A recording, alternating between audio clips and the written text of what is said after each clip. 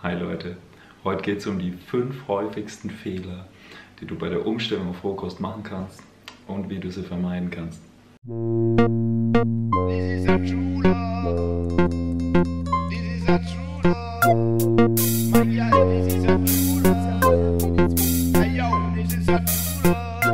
Ja, die fünf häufigsten Fehler. Nummer eins, gleich an erster Stelle ist zu viel Früchte.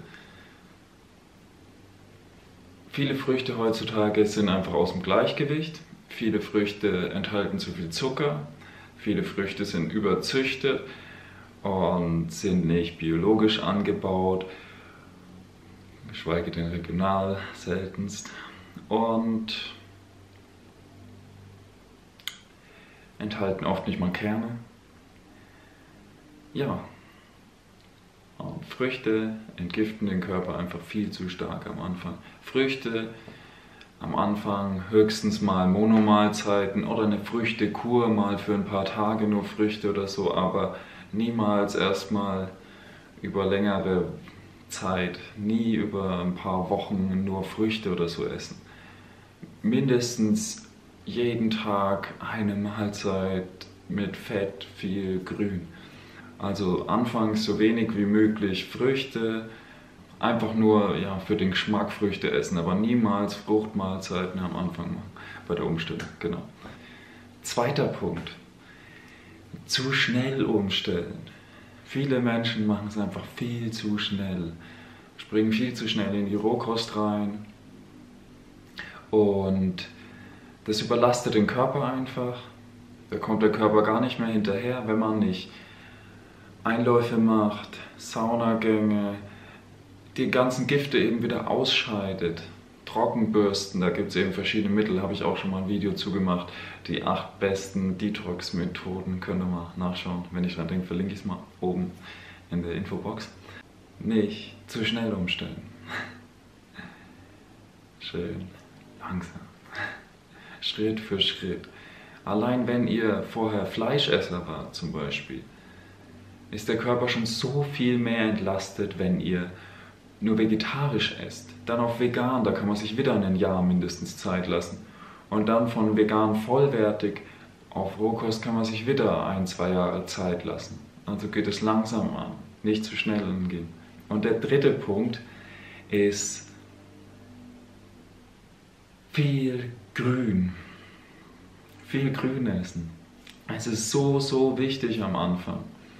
Der Körper wenn er die ganzen Gifte ausscheidet, übersäuert total und ihr braucht einfach viel Grün, um denen entgegenzuwirken, um wieder in euer Gleichgewicht zu kommen. Also viel Grün, Wildkräuter, Sprossen, Brennnesseln, Löwenzahn, optimal. Was Besseres gibt es nicht als Löwenzahn und Brennnessel oder andere Wildkräuter, egal was. Was ihr da, da habt, Klee könnt ihr essen. Kennt doch jeder, wächst überall. Punkt Nummer 4, alles alleine machen. Viele suchen sich keine Hilfe dabei, verbinden sich nicht mit anderen Leuten, die auf dem gleichen Weg sind.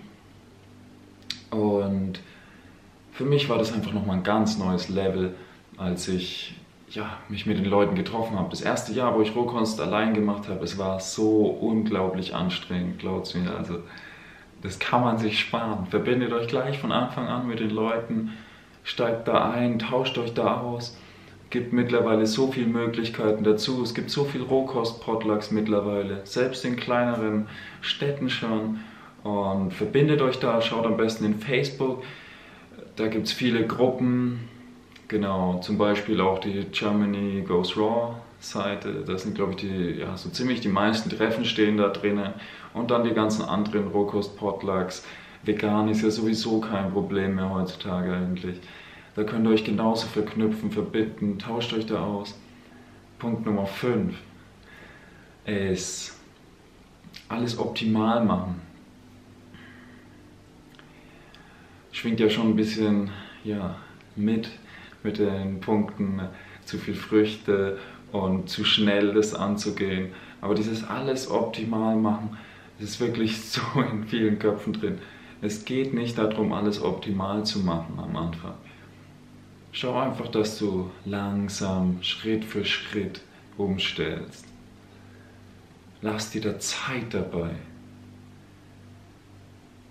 Wenn du das zu schnell angehst, dann ist dieser Sprung viel zu groß.